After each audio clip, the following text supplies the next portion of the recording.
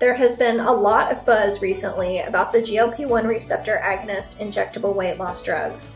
We're going to review the research and explore the benefits and risks of using these medications for weight loss.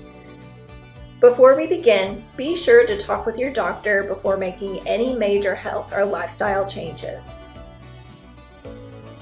Current statistics estimate that nearly 70% of Americans are overweight or obese based on their BMI. Treating obesity has become a priority and a focus of recent research and drug development. The FDA has granted approval for two GLP-1 receptor agonist drugs, semaglutide, sold as the brand name Wegovy, and tirzepatide, marketed and sold as Zepbound. Each of these medications has a sister drug that is marketed and sold for the management of type 2 diabetes.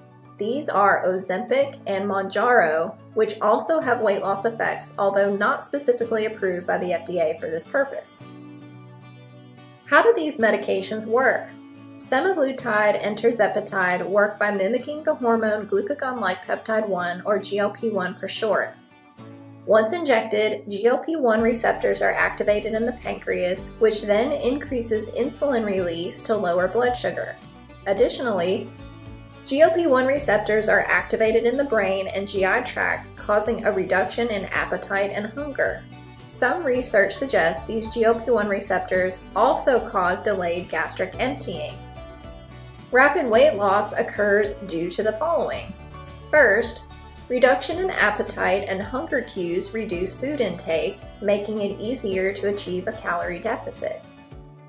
Second, delayed gastric emptying prolongs the sensation of fullness, reducing the frequency of eating and causing earlier satiety. And third, a reduction in cravings and altered food preferences make users less likely to overeat their favorite foods. Do these drugs actually work?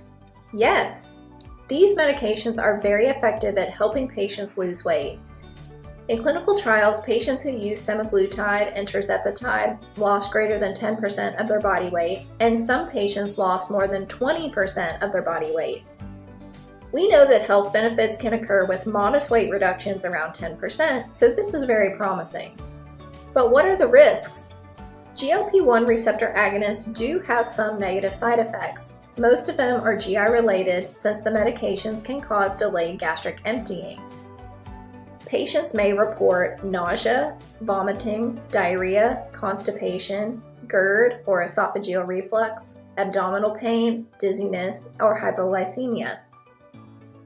Dietitians can help counsel patients on making dietary changes that can help relieve some of these symptoms. However, if the negative side effects persist or they become severe, the patient should call their doctor. Another thing to consider is how long patients can or want to continue taking GLP-1 drugs. Although patients can successfully lose weight when taking these medications, Research indicates that many patients regain most of the weight they lost when they stopped taking the drug. This is often because the patients did not make changes in their diet or increase physical activity. To maintain weight loss and the health benefits associated with a lower body weight, a healthy diet and regular physical activity are a must. Want to learn more about these and other FDA approved weight loss medications? Check out our free downloadable handout, which is linked in the video description.